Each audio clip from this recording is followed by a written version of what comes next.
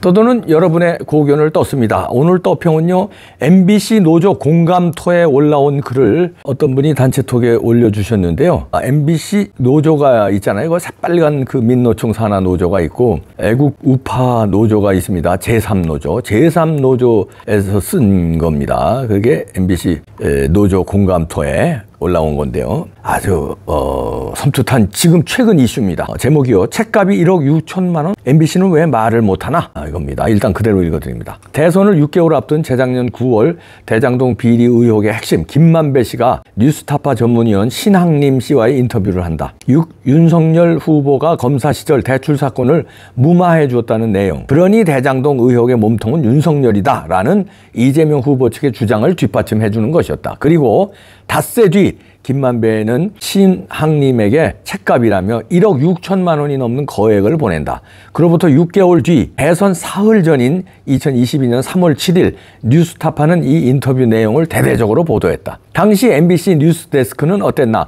뉴스타파 보도를 기다렸다는 듯 김만배, 뉴, 윤석열이 그냥 봐줬지 사건이 없어졌어 라는 제목의 리포트를 시작으로 무려 네 꼭지를 쏟아부으며 사실상 그들과 한 배를 탔다. 그때 성장경 앵커는 윤 후보가 사건을 그냥 봐줬다는 건데 대선을 이틀 앞두고 파문이 커지고 있습니다. 라며 사실상 선동 보도에 앞장섰다. 어제 신학림 씨에 대해 검찰이 압수수색을 했다. 인터뷰를 해주고 거액을 받은 뒤 뉴스타파를 통해 허위 사실을 보도하게 한 혐의다. MBC 뉴스가 이번에는 어땠나? 돈 받고 허위 인터뷰, 신학림 압수수색, 달랑 한 꼭지. 내용을 보면 정말 다루기 싫은데 안 하면 욕먹을 것 같으니 신용만 하자라는 투다. 성장전 앵커는 이번엔 신 전 위원장은 허위 인터뷰가 아니고 금전 거래는 정당하게 책판 대금이라고 주장했습니다. 라고 굳이 해명을 앵커멘트로 써줬다. 1억 6천만 원짜리 책이라니 당사자 해명이라면 분별 없이 그렇게 아무 말이나 전해주는 게 옳은 말인가? 무엇보다 MBC는 김만배 씨가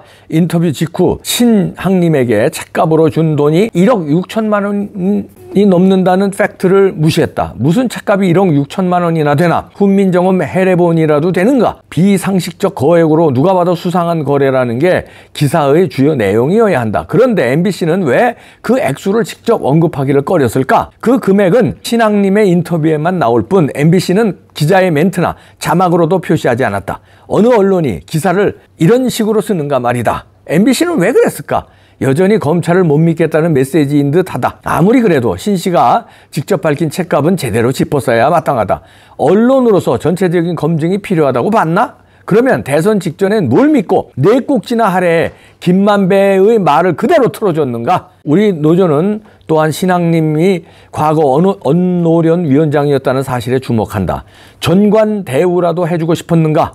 언노련 1세계 MBC 보도국은 이럴수록 더 냉정하고 준엄하게 다뤘어야 했다. 이번 사안은 한국 언론인 전체의 얼굴에 먹칠을 하는 추접한 인터뷰 거래 사건이다. 신학님 씨는 어제 김만배 씨가 인터뷰를 인터뷰가 거짓인지 아닌지 판단할 수 없었다. 그저 뉴스타파가 요구하는 자료와 정보를 제공한 것 실뿐 이씨라고 낱말하듯 발뺌했고 뉴스타파는 신 씨가 김 씨에게 책을 팔았다는 사실을 전혀 몰랐다고 발뺌했다. 뉴스타파도 책값 거래가 문제로 보이긴 하나 보다 웃기고들 있다. 언노련 위원장을 지냈다는 자와 언노련과 괴를 같이 하는 뉴스타파는 그 모렴치와 정파성으로 한국 기자들의 격을 함께 낮추고 있다. MBC 보도도 똑같은 길로 가고 있다. 창피한 줄 알길 바란다. 아, 이렇게 MBC 노동조합 제3노조에서 아, 쓴 글을 이게 SNS 화제가 되고 있는데요. 야, 책값이 1억 6천만 원. 이게 책값이 아니라 이제 뇌물이죠. 무슨 뇌물? 어, 대통령 선거 앞두고 김대엽 폭로 사건처럼 이렇게 조작 뉴스를 폭로해 주니 그 내 대가로 1억 6천만 이게 아마 그 우리가 집을 살 때 계약금, 중도금, 잔금 있잖아요. 제가 생각할 때 이거 계약금 같은데 이 만들어 놨으니까 일단 일부 터트렸으니까 일단 1억 6천만 원 주고 대통령 선거 전에 이거 일단 터트렸고 그 돈 받았잖아요. 이게 성공하면 대통령이 만약에 된다면 이게 이제 보통 집 살 때요 계약금은 10분의 1입니다. 예를 들어서 10억짜리 살 때 1억 계약금 걸거든요. 여러분들 집 거래해봐서 알잖아요. 그 다음에 이제 잔금. 집 등기 받을 때, 등기 받을 때 잔금 치르잖아요.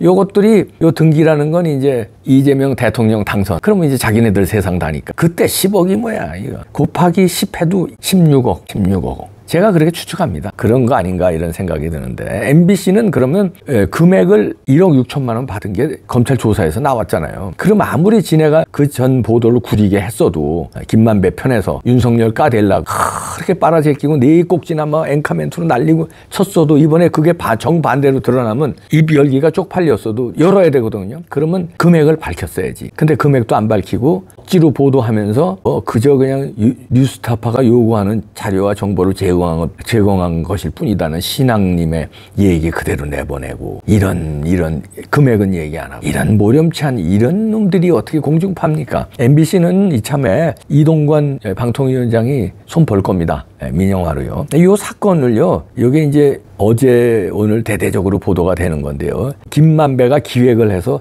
신학님이 실행을 한 건데 이 인터뷰 조작 사건이죠. 그리고 이걸 대선 3일 전에 터트리는 아 제2의 김대엽 사건입니다. 김대엽 사건도 이해창 씨하고 에, 그 이해창 씨가 그, 그걸 갖다가 퍼트렸는데 나중에 하고 보니까 거짓말이었잖아요. 근데 그건 대선 끝나고 이해창은 떨어지고 끝났지. 근데 요거는 자칫하면 윤석열 대통령이 떨어질 뻔했어요. 근데 이제 안 쏘보니까 윤석열 대통령이 당선이 된 건데 만약에 윤석열 대통령이 떨어졌으면 이것도 묻혔지. 이재명이 어떤 놈인데 지를 대통령으로 만들어준 1등 공신이 김만배하고 신학림인데 아 이고 이거를 무슨 검찰에서 조사를 하게 내비도?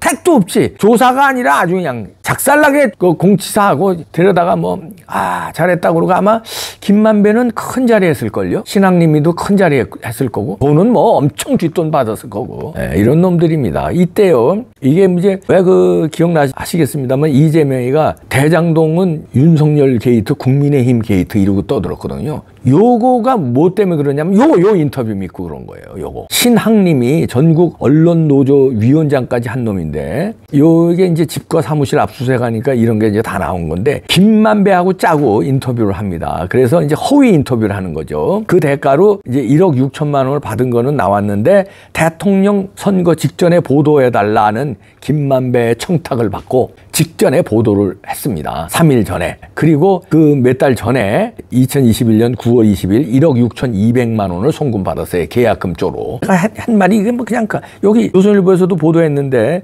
여기 일지가 다 나오죠. 대선 그러니까 6개월 전에 9월 15일 날 신앙 김만배 신앙님과 인터뷰합니다. 조작 인터뷰죠. 10월 16일 그다음에 터트리죠. 이, 이재명이 터트립니다. 뭐라고 터트리냐면 윤석열 후보 부산저축은행 수사하지 않는 이유가 뭐냐 이러고 터트려요.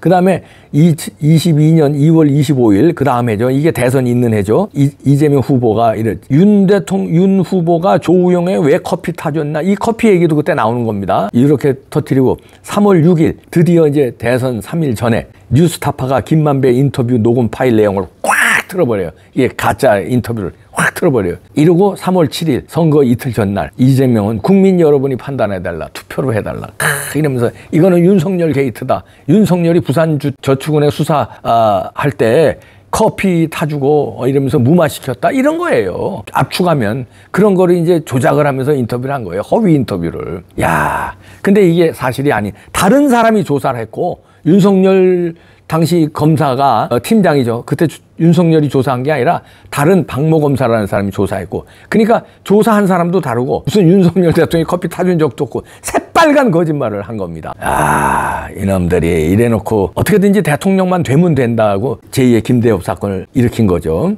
야 그리고 뉴스타파는 대선 사흘 전날 3월 6일 날 3월 9일이 대선이었잖아요. 신앙, 신학님이 녹음했던 그 김만비, 김만배 인터뷰 녹음 파일 편집본, 편집본 그 내용을 보도한 거예요. 뉴스타파가. 이때 난리가 났잖아요. 뉴스타파가 보도하니까 MBC는 바로 받아가지고 네 꼭지를 쫙 MBC 뉴스데스크에서 네 꼭지는요 엄청난 겁니다. 그걸 그냥 집중적으로 이걸 그냥 얘네들 얘기한 거 그냥 그대로다가 다 내보낸 거예요. 말하자면 윤석열 대통령이 커피 타주고 이거 무마했다 이런 거로 그냥 쫙 나간 거예요. 새빨간 거짓말을. 야 이놈 이런 MBC 한두 번도 아니고요. 그냥 두면 안 됩니다. 그러면서 이 녹음 파일에는요 웃기지도 않는 게 그때 이제 조우영이라는 그 이제 금융 브로커죠. 대출 받게 해주고 뭐 이런 브로커 2011년에 조우영이 이제 조사를 받는 겁니다. 그 부산저축은행 건으로요. 그랬더니 윤석열 당시 그 검사가 그랬대요. 네가 조우영이냐, 조우형이냐 이러면서 커피를 타주면서 몇 가지 또 박 검사가 커피 타주면서 몇 가지 물어보더니 에 그래 그랬는데 아 사건이 그 그래서 없어졌다고. 그러니까 다시 말해서 윤석열이 봐줘서 박 검사도로 커피 타주게 하고 그다음에 사건은 없어졌다. 조우영이를 봐줬다 이거야. 그러니까 이게 돈 먹고 봐줬다 이런 식으로 아니면은 이제 그 장모 장모가 걸린 사건이니까 이제 이 수사 자체를 없앴다 이런 식으로 한 거예요. 그러면서 아 내가 박영수를 소개 해 주어 이제 김만배가 얘기하는 겁니다. 내가 박영수를 소개해주고 윤석열은 박영수가 데리고 있었잖아. 그러니까 통할 만한 사람 내가 소개해 준 거지. 통했잖아. 그러니까 수- 수사가 없어졌잖아. 그냥 봐줬잖아. 이런 이제 녹취예요. 완전히 새빨간 거짓말을 지네들이 주고받고 하는 거예요. 이걸 터뜨린 거예요. 근데 윤석열 대통령 그 당시 부산저축은행 사건의 주임 검사는 맞아요. 중수 이과장으로서 조우영은 이제 부산저축은행 대출 알선한 브로커였고요. 박영수 특검의 부탁을 받던 이제 윤석열 당시 예, 주임 검사가 이제 박모 후배 검사를 시켜서 조우영이를 봐줬다. 요런 이제 시나리오거든요. 얘네들은. 야, 근데 박영수 구속됐다, 이놈들아. 어, 이제 알고들 사기쳐라. 그러니까 박영수를 구속을 잘 시킨 게, 박영수를 만약에 구속 안 시키고, 우물우물 됐으면 50억 클럽인데 왜 구속 안 하지? 그럼 이 사람들 말이 맞는 거야? 박영수 때문에 윤석열 대통령이 코너에 껴서 가 껴서 봐준 거야? 이렇게 돌아간 거, 거거든요. 이렇게 몰아간 거거든요. 그래서 박영수 진작부터 구속시키라고 저희들이 이 뭐 수백 번 얘기했잖아요. 근데 하여튼 뒤늦게라도 구속됐으니까 그나마 다행입니다. 구속되자마자 이런 거 압수수색해서 이거 다 털어낸 거예요. 그러니까 박영수 진작 구속했으면 이런 거 진작 압수수색해가지고 진작 털을 거 아니에요. 그래서 시간이 중요한 거예요. 이재명도 빨리 구속해야 된다니까요. 그러면 줄줄이 다 나와요. 구속을 못 하고 있으니까 저거 이 이 이 이건 뭐 더 아, 이재명이 핸드폰도 압수수색 못 했잖아요, 지금. 집도 압수수색 못 했죠. 구속을 하면 그게 쫙쫙 다 나온다니까. 다 나오는 건데. 이런 허위 인터뷰에 놀아나고 대선 질 뻔했잖아요. 지금도 부정선거 조사를 하거나 아니면 수개표를 바꾸는 무슨 작업 안 하면요. 나 어떻게 될지 뭐, 얘네들 무슨 짓이든지 안 되니까. 아, 나 미치겠네, 진짜. 도대체가 진짜 징글징글합니다, 진짜 아주. 토크 콘서트 합니다. 이봉규TV 토크 콘서트는 이제 처음인데요. 아, 서초역에 있는 흰물결 아트센터 예술극장인데요. 서초역 바로 옆에 있습니다. 9월 23일 오후 3시에 인터파크 예매해 주시면 됩니다. 인터파크 예매하시는 건 모르시면 물어보세요. 간단해요. 셀럽들 많이 나옵니다. 유명한 분들 많이 그 자리에서 만나실 수 있고요. 사진도 찍으실 수 있고요. 그날 봬요.